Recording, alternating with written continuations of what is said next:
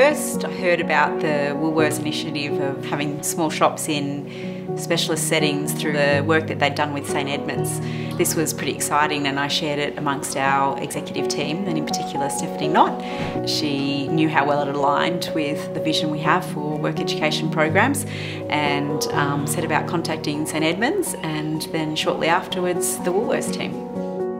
This used to be a storeroom and now it's an amazing learning space for our students and it means so much to the students and staff to have this um, as a part of our school, to set up the learning space but also for the ongoing partnerships and the um, inclusivity that the companies promote um, with people with disability. One, two, three. There you go.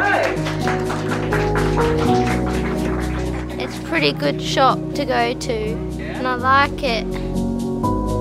I think it's a good opportunity. I think I'll be pretty good behind the till.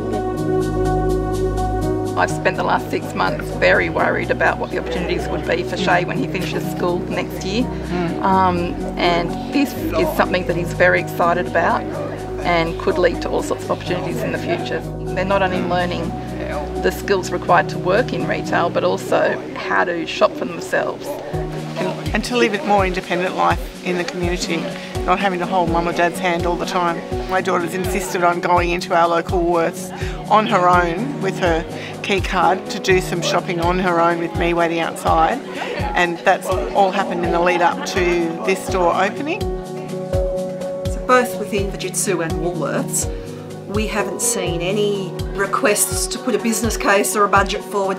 None of that's been in place. And for those that live in the corporate world, we know how rare that is. The commitment and the belief behind both this project and generally giving back to the community from both companies has been amazing. There are things that we do every day, uh, many of us, that we take for granted.